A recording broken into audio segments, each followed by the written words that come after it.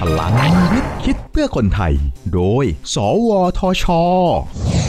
ตอนพอแมทนวัตกรรมใหม่จากเท่าแกลบในประเทศไทยเรามีเท่าแกลบหรือที่เรียกว่าแกลบดำ ซึ่งได้หลังจากการเผาไหม้เราไม่ได้ทิ้งเปล่า แต่เอาไปใช้ประโยชน์ต่อได้นะครับ และปัจจุบัน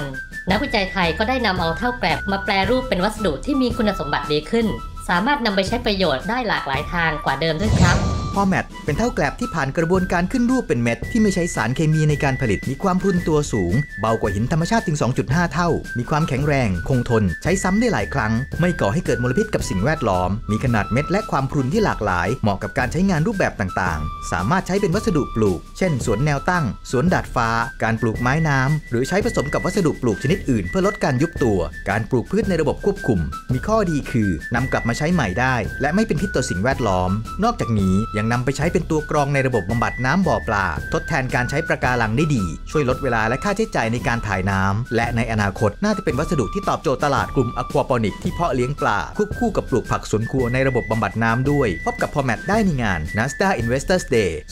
2015 2 กันยายนนี้ ที่ศูนย์การประชุมแห่งชาติสิริกิติ์วิจัยและพัฒนาโดย MTech สวทช พัฒนาคนด้วยวิทยาศาสตร์ พัฒนาชาติด้วยเทคโนโลยี สอบถามรายละเอียดเพิ่มเติมได้ที่ สวทช 02 564 8000